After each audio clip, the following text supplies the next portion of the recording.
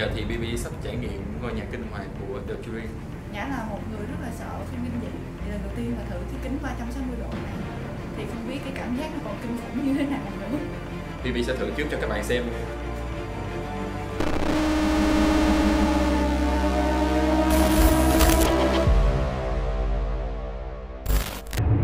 Ôi, rồi, giới thiệu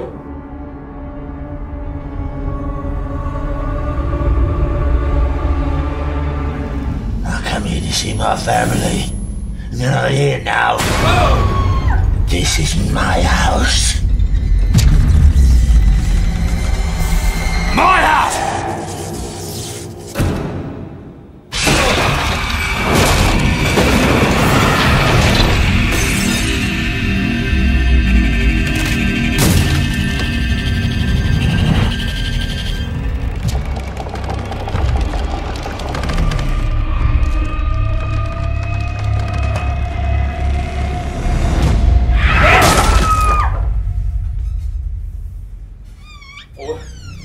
Chưa hết nữa hả? Rồi sao gần quá vậy?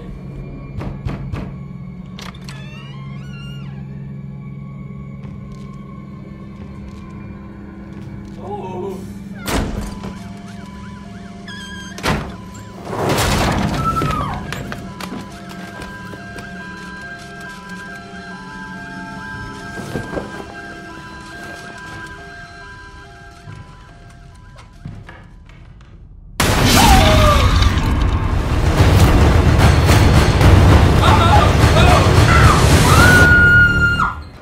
Coi xong mà cảm giác bây giờ vẫn còn sợ. Có nhiều lúc nhắm mắt lại không dám coi tí Sợ. Đau tim quá. Cái âm thanh nó, nó, nó sống động mà nó đã lắm. Mình cảm giác là giống như mình đang Giống như mình đang trong nhà ma gì đó. Các bạn ơi, các bạn nhớ trải nghiệm thử cái 360 này nghe rất là hay. Và công nhận cái này mà coi hết bộ phim chắc là lên máu chết luôn